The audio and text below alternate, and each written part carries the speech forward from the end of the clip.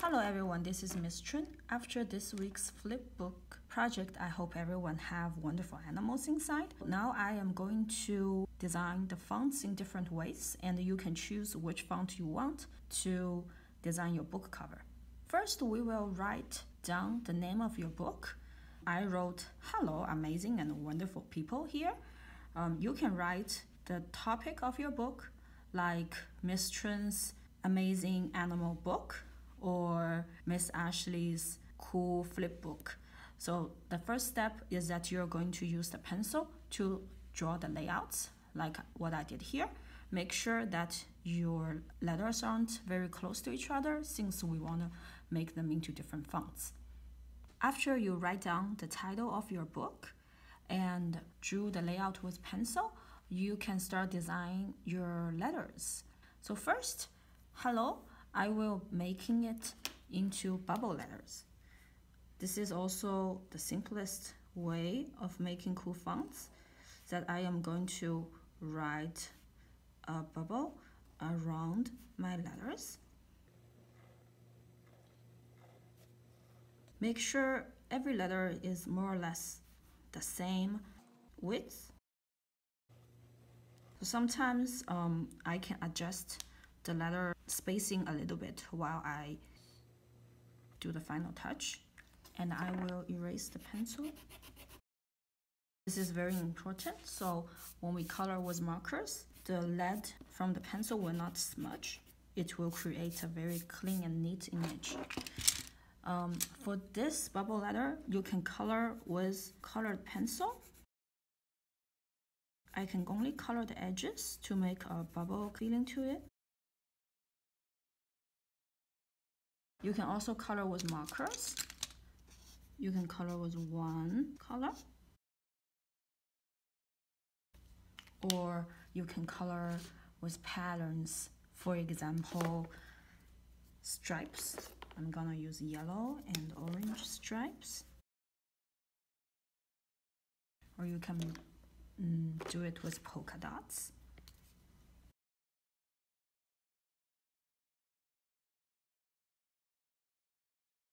You can also make the bubble effect with the marker, just leaving some highlight.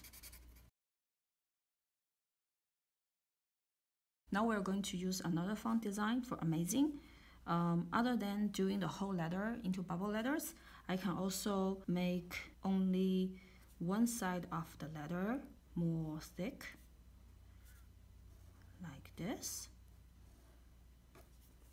So what I'm doing is I'm switching the left side of the letter into a block and everything else remains with thin lines.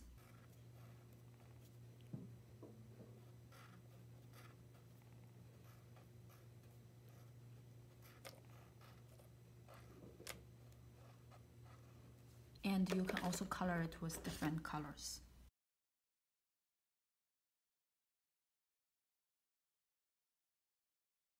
Another really cool way of making font design is you can put a really fun shape behind the letter.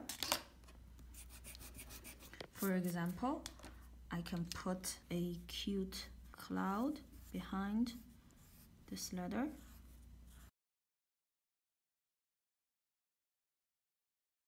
You can put uh, one of the animal shapes or some geometric shapes as well.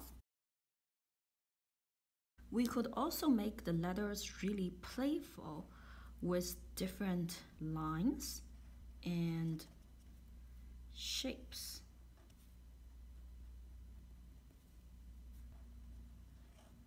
So you can use wiggly lines.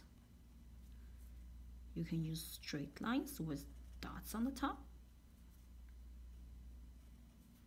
You can use straight lines with wiggly lines on top. You can fit an animal inside the D.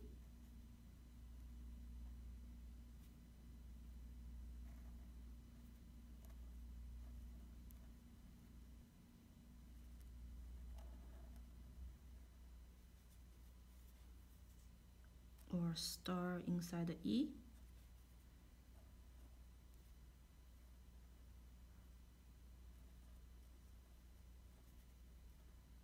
make a double line.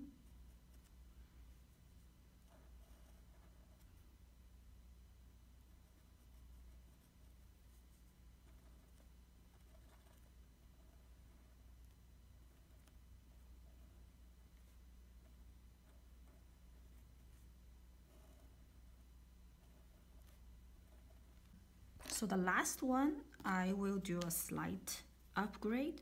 We will be making the 3D letter. So the first step was making the 3D letter is we are going to make it into block letters.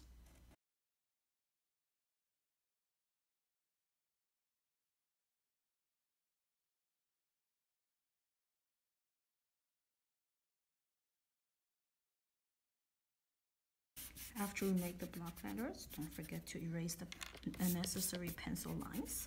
So our book cover will look really nice and neat and clean. And we will choose where is it going to vanish. This is called the vanish point. I can do it in the middle of the letter. You can either do it on the top or the bottom. So uh, I will be doing it on the top here.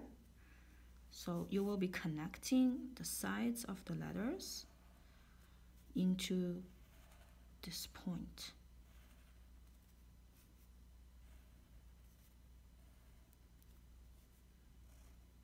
Top first.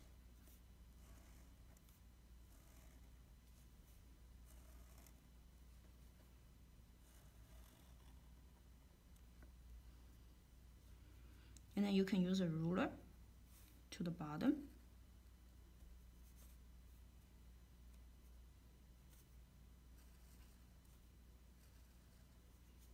this might be a little bit hard for the little kids but you know you can try it anyway if you're interested. Okay? We can also add some patterns on the letters like clouds simple ones flowers or simple it can just have colors. And you can color it in the color you like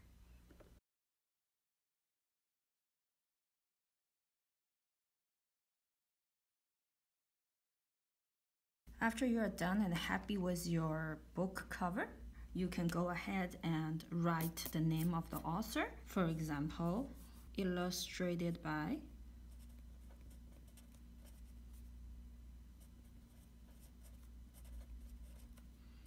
Miss Chun. Okay, and don't forget to bring it to school next week and show a teacher. They will be really proud. See you next week.